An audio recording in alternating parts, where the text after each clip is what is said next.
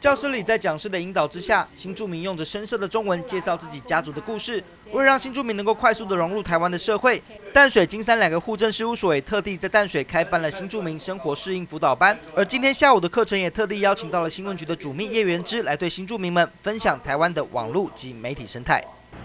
所以这个新闻，我跟大家讲，我们一般来讲哦，台湾的新闻可以简单分成两种出现的方法，一种是自然而然的。一种是有人去操作，有人去做一件事情，媒体才报；有一种是自然而然。课课程啊，哈，这个课程其实就是在提升我们在台一些，诶，外籍配偶他们在台湾生活适应能力，能够让他们能够顺利融入我们诶台湾的生活环境。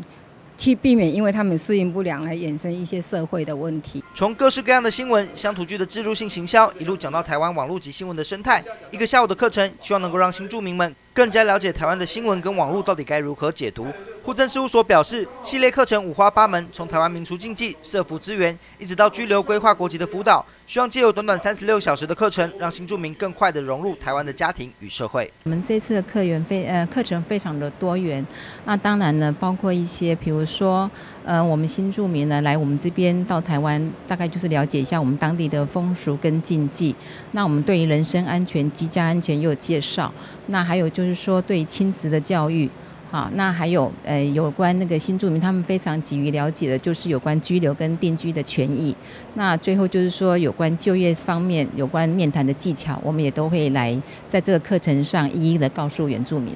我认为大家就是可以找一个时间，然后来这边啊，各位老师也是人很好，也是教育大家就是多了解一下，就是嗯我们这边的生活习惯啊，然后要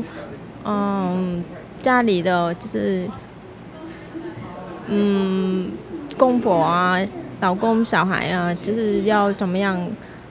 一个完美的家庭啦。除了丰富的课程之外，教室后方还特地摆设了儿童游戏区，并有职工来帮忙照顾小朋友。贴心的服务也让新住民朋友相当肯定。而户政事务所也表示，会定期开办这样的课程，也希望有需要的新住民能够多多来报名。这陈博伟淡水采访报道。